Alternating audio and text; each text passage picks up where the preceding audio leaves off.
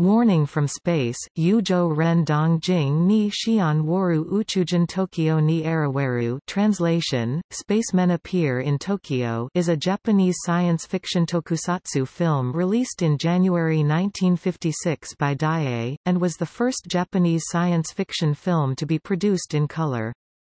In the film's plot, starfish-like aliens disguised as humans travel to Earth to warn of the imminent collision of a rogue planet and Earth.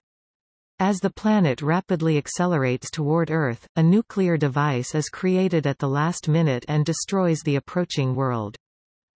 The film, directed by Koji Shima, was one of many early Japanese monster films quickly produced after the success of Toho's Godzilla in 1954. The film was loosely based on a novel by Gentaro Nakajima. After release, the film was met with negative reviews, with critics calling it bizarre and accusing it of using science fiction clichés. Warning from Space influenced many other Japanese science fiction films, such as Gorath. The film, along with other 1950s science fiction films, influenced director Stanley Kubrick, who would later direct 2001, A Space Odyssey.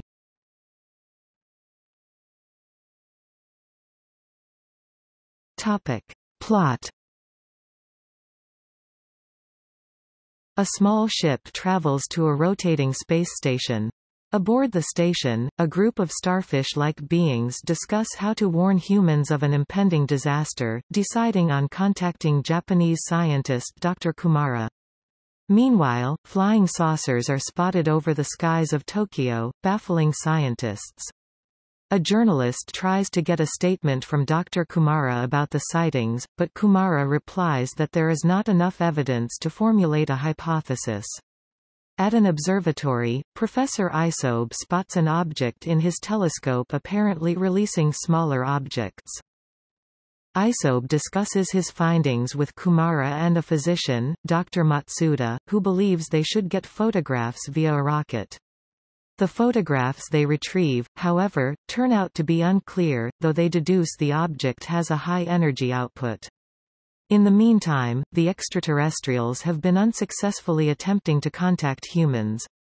They begin appearing in lakes and rivers, frightening local fishermen and sailors. One of the aliens manages to secure a photo of Hikari Aozora, a famous Japanese entertainer. Their plan is for one of the aliens to mutate into the form of Aozora. Back aboard the space station, one of the Pyran leaders, Ginko, volunteers herself. Her starfish form is slowly mutated into a human form. On Earth, Toru, Isobe's son, discovers the disguised alien floating in the water. After her rescue, she exhibits superhuman characteristics such as jumping 10 feet and materializing in different places without walking. Soon, she disrupts Dr. Matsuda's work on a nuclear device, explaining she understands the complex equations he was writing and warning against the effects of a device, leading him to believe she is not human. Shortly afterwards, as the team of scientists discuss her abnormal traits, the camouflaged Ginko appears and reveals her true identity, explaining she is from Para, a world on the same orbit as Earth but on the opposite side of the Sun. She then continues to reveal her mission, to warn Earth of an imminent collision of a rogue planet, which is dubbed Planet R by the media. They appeal to the World Congress about the situation, but are swiftly rejected.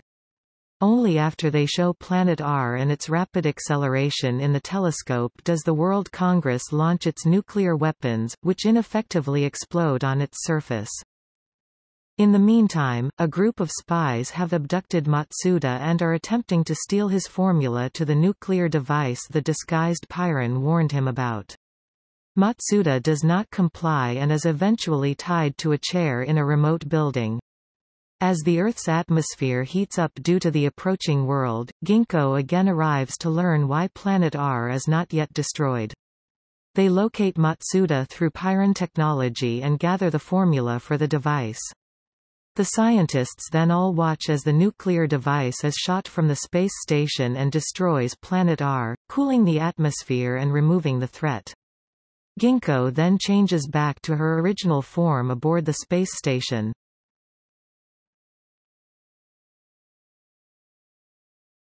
Topic. Cast Keizo Kawasaki as Dr. Toru Isobe Toyomi Karita as Hikari Aozora, Ginko. Bin Yagisawa as Number 2 Piran Shozo Nanbu as the elder Dr. Isobe Bontaro Miyaki as Dr. Kimura Miko Nagai as Teiko Kimura Kyoko Harai as Mrs. Matsuda Isao Yamagata as Dr. Matsuda Topic. Production After the success of Toho's 1954 film Godzilla, which depicted a giant dinosaur attacking Tokyo, many Japanese film studios began to produce similar monster films, including Warning from Space. Along with other films such as Shintoho's Terrifying Attack of the Flying Saucers and The American Forbidden Planet, Warning from Space became part of a fledgling subgenre of films based around science fiction creatures. The film also used the theme of atomic bombs that was present in many films at the time, but showed how the weapons, which devastated the Japanese cities of Hiroshima and Nagasaki a decade earlier, could be put to good use. Still others noted the film used another common theme of cosmic collisions in the style of earlier films such as the 1931 film End of the World, which depicted a comet on a collision course with the Earth. The Piran aliens were designed by the prominent avant-garde artist Taro Okamoto, which used a single eye that is common among science fiction aliens. Although official film posters showed the Piran aliens towering over buildings, the actual cinematic version of the aliens were on the scale of humans, at about 2 meters. Walt Lee reports that Gentaro Nakajima's novel, on which this film was based, was in turn based on the Japanese folktale Kaguya Hime. The film was one of 14 Japanese color pictures produced in early 1956, but the first color Japanese science fiction film.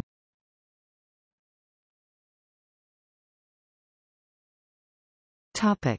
Release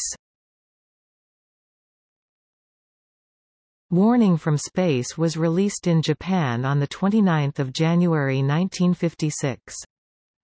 Daiei also hoped to find a foreign market for Warning from Space, though the company found difficulty in selling it. Nevertheless, the film played at both King Cinema in Rangoon, Burma and Tycoon Theatre in Sandakan, Malaysia, in 1958. The film did help Daiei achieve some success in the genre. It was passed for release, anglicized as Warning from Space, by the BBFC in the United Kingdom in 1957, and later in the United States in 1963. The film was also released as The Mysterious Satellite in some areas. It was shown in the U.S. by American International Television later in the 1960s as Warning from Space.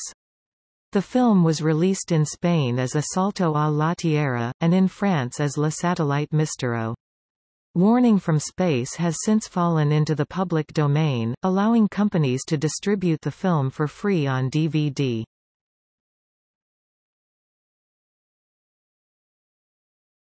Topic. Reception In a contemporary review, Neil a Variety stated that the film was done with candor and simplicity which makes it a good entry of its type.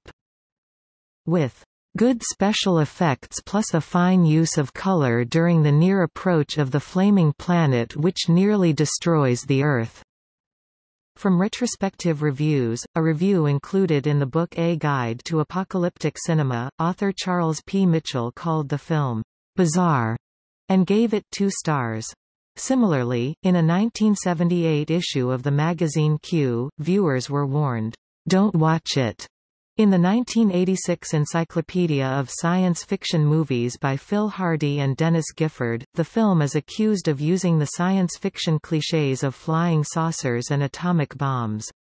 Gyan Prakash, in his book Noir Urbanisms, Dystopic Images of the Modern City, called the film charming The film was noted for its misleading characterization of astronomers, with one author observing that it advanced the cinematic portrayal of astronomers as scientists in lab coats peering through an enormous telescope. In his biography of Stanley Kubrick, author John Baxter traces Kubrick's interest in science fiction films, which led to his 2001, A Space Odyssey, to the Japanese kaiju eiga films of the 1950s, including Warning from Space, with its nameless two-meter-tall black starfish with a single central eye, who walk en pointe like ballet dancers. Baxter notes that despite their clumsy model sequences, the films were often well photographed in color, and their dismal dialogue was delivered in well-designed and well-lit sets.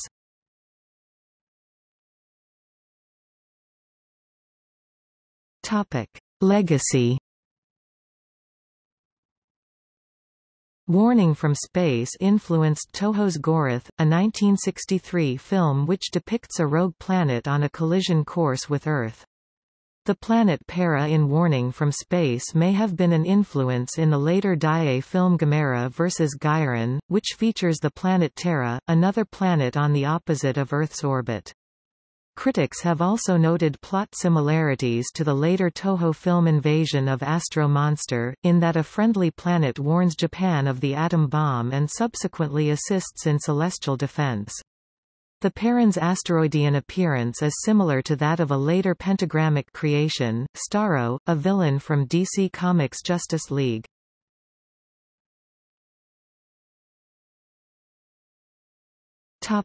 See also List of Japanese films of 1956 List of science fiction films of the 1950s